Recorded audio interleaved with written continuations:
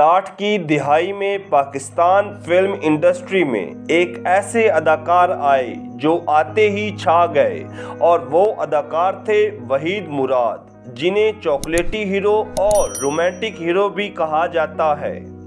वहीद मुराद शुरू शुरू में तो बतौर फ़िल्म प्रोड्यूसर साठ की दिहाई में आए और फिर देखते ही देखते वो फ़िल्म इंडस्ट्री पर छा गए। बतौर फ़िल्म साज वहीद मुराद की पहली फ़िल्म, इंसान बदलता है, थी।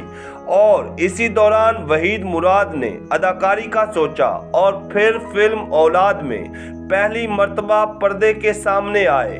ये फ़िल्म गोल्डन जुबली साबित हुई और इस फ़िल्म के बाद वहीद मुराद पाकिस्तान के टॉप के अदाकार बन गए। इसी दौरान वहीद मुराद की फ़िल्म आर्ट कंपनी में परवेज मलिक, सुहेल राना और मसरूर राना से दोस्ती हो गई और फिर इन चारों की दोस्ती से पाकिस्तान की फ़िल्म इंडस्ट्री को काफ़ी फ़रोग मिला और इनकी कई फ़िल्में प्लोटिनम और गोल्डन जुबली साबित हुई। इनमें वहीद मुराद की फ़िल्म अरमान ऐसी फ़िल्म थी जो प्लॉटिनम जुबली साबित हुई। इस फ़िल्म के गाने बहुत मशहूर हुए। इस फ़िल्म ने वहीद मुराद को रातों रात सुपरस्टार बना दिया। वहीद मुराद एक असलूब अदाकार थे। इन्होंने जितनी भी फ़िल्मों में काम किया, वो सब अपनी जगह उम्दा थीं।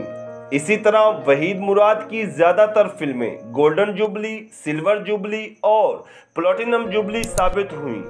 वहीद मुराद की मशहूर फ़िल्मों में, नींद हमारी ख्वाब तुम्हारे, देवर भाभी सालगिरा अंदलीब बहारो फूल बरसाओ।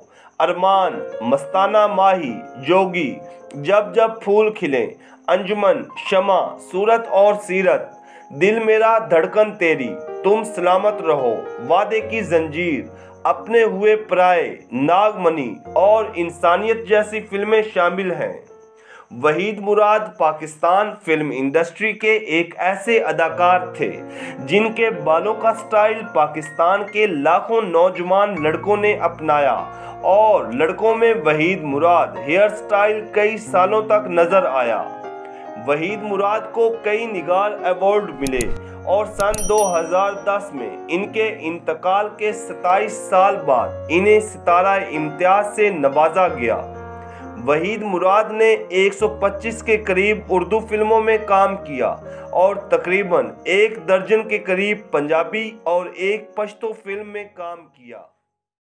वहीद मुराद ने अपने दौर की हर अदाकारा के साथ काम किया, जिनमें जेबा, दीबा, आसिया, रानी, शमीमारा और शबनम जैसी अदाकाराएँ शामिल हैं।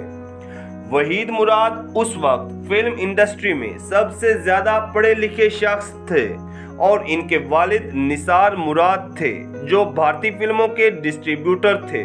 और उनका कराची में एक सिनेमा भी था, जो नाज सिनेमा कहलाता था।